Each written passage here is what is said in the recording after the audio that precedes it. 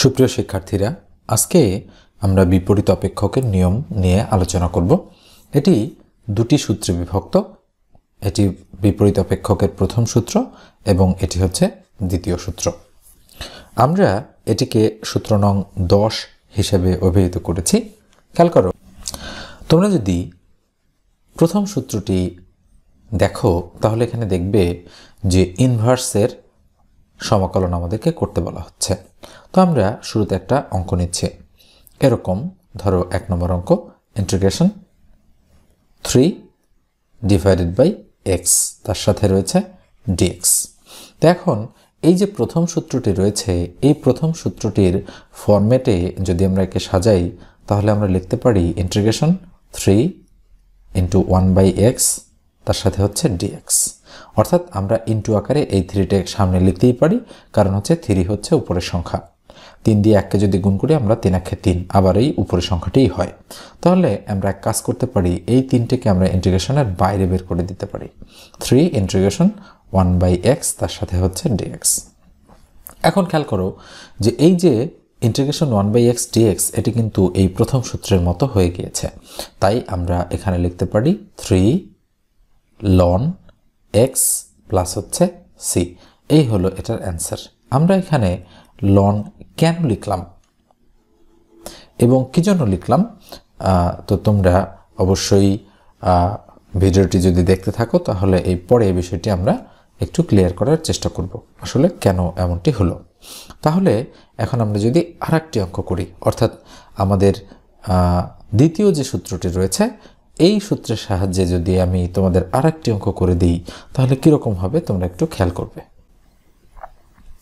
ধরো, এটি দুই নম্বর অঙ্ক, এবং এরকম রয়েছে।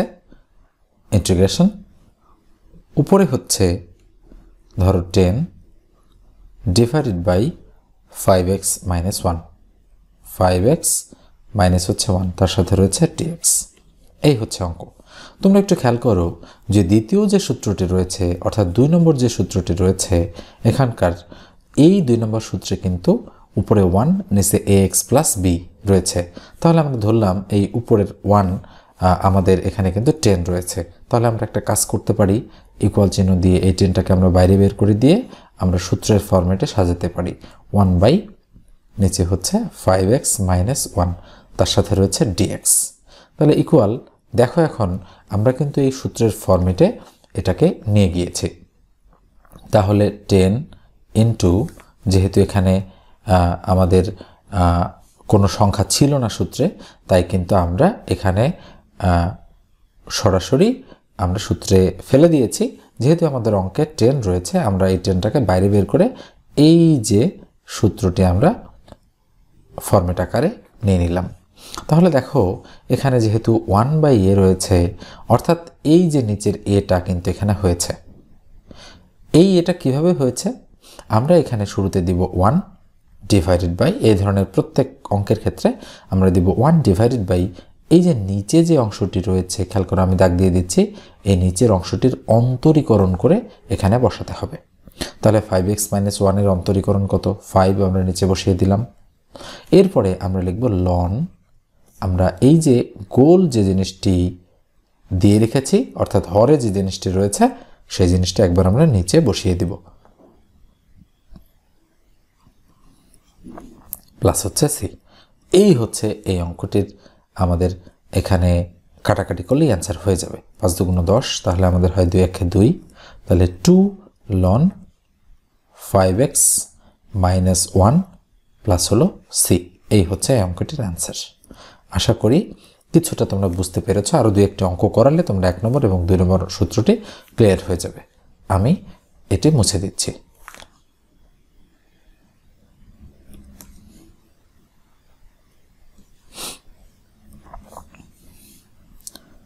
তোমরা এবার তিন নম্বর অঙ্কটি দেখো, কীভাবে করতে হচ্ছে। মনে করো এরকম রয়েছে integration four x inverse one, তার সাথে রয়েছে টিএক্স তাহলে আমরা এটাকে এরকম করে লিখতে পারি, ফোরটা বাইরে লিখলাম, আর এক্স ইনভার্সটাকে আমরা লিখলাম ওয়ান বাই এক্স তার সাথে ডিএক্স আচ্ছা বলো তো, এই যে ভিতরে যে অংশটুকু রয়েছে ওয়ান বাই এক্স এটি হচ্ছে আমাদের বিপরীত অপেক্ষকের প্রথম নিয়মটি। তাহলে ফোর আমাদের হবে লন এক্স প্লাস হচ্ছে সি এই হচ্ছে তিন নম্বর অঙ্কের অ্যান্সার এরপর আমরা আর অঙ্ক করব, চার নম্বর। যদি এমন থাকে, ধরো আমাদের থাকল ইন্টিগ্রেশন উপরে টু তার নিচে থাকল আমাদের one plus x one plus হচ্ছে এক্স তার সাথে কি থাকল? ডিএক্স আচ্ছা বলো তো, এটা কিন্তু দ্বিতীয় সূত্রের অঙ্ক। তাহলে আমরা এখানে লিখতে পারি ইকুয়াল টু ইন্টিগ্রেশন চিহ্ন ওয়ান বাই ওয়ান প্লাস হচ্ছে এক্স তার সাথে হচ্ছে ডিএক্স ইকুয়াল কি দাঁড়াচ্ছে? টু এখানে আমাদের হবে ওয়ান বাই এই নিচে ওয়ান প্লাস এক্স রয়েছে, তার অন্তরীকরণ কত? One into ln one plus x, অর্থাৎ লন আকারে নিচেরটা হবে। প্লাস হলো সি তাহলে আমরা এখানে লিখতে পারি যে, যেহেতু ওয়ান বাই ওয়ান মানে ওয়ান তাহলে দুই একে দুই, তাহলে two ln one plus x plus হচ্ছে সি এই হচ্ছে আমাদের এখানকার চার নম্বর অঙ্কের অ্যান্সার তাহলে আমরা এরকম আরও একটি অঙ্ক করতে পারি। আমরা এই দিকে একটা অঙ্ক করি ইন্টিগ্রেশন আমরা দিলাম উপরে থ্রি তার নিচে দিলাম আমরা ওয়ান মাইনাস এক্স তার সাথে ডিএক্স এবার মাইনাস চিহ্ন দিয়ে দিলাম। তাহলে আমরা কি লিখতে পারি? দেখো ইকুয়াল চিহ্ন দিয়ে three integration one by one minus x তার সাথে ডিএক্স থ্রি থ্রি থাকল। আমরা এখন কি করতে পারি? ওয়ান ডিভাইডেড বাই এই নিচের অংশটার অন্তরীকরণ কত? মাইনাস ওয়ান দেখো ওয়ান মাইনাস এক্স যেহেতু এক্সের সামনে মাইনাস রয়েছে মাইনাস ওয়ান ইন্টু আমরা লিখতে পারি ln one minus x plus হচ্ছে সি কখন আমরা প্লাস সি ব্যবহার করি? যখন ইন্টিগ্রেশনের ডিএক্স উঠে যায়। তাহলে ইকুয়াল টু আমাদের মাইনাস থ্রি হবে। ওয়ান এবং ওয়ান ক্রস করলে তাহলে হবে ln one minus x plus হচ্ছে সি এই হচ্ছে আমাদের পাঁচ নম্বর অঙ্কটির answer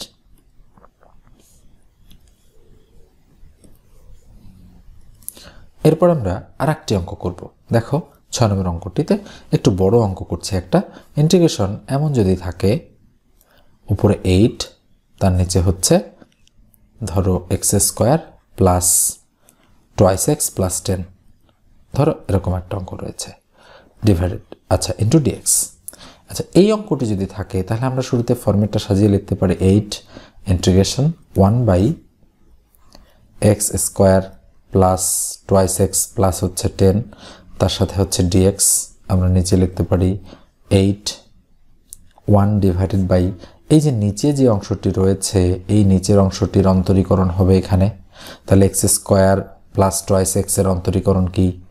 Two x plus two okay? কেননা প্লাস টেন তো জিরো হয়ে গিয়েছে। ইন্টু লন আকারে হবে। নিচে আমরা যা অঙ্কে পেয়েছি তাই। অর্থাৎ x square plus twice x plus হচ্ছে ten bracket close plus c তাহলে ইকুয়াল এইট হচ্ছে উপরের সংখ্যা। আমরা এটাকে এখানেই রাখব আপাতত।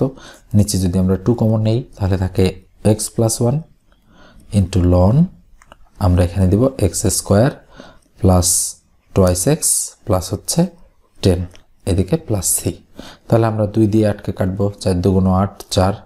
তাহলে আমরা এখানে চার রাখতে পারি। চার রেখে এখানে টান দিলাম। নিচে এক্স প্লাস ওয়ান লিখলাম।